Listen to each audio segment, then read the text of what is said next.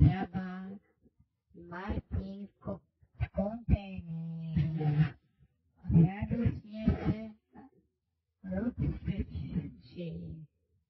National Command of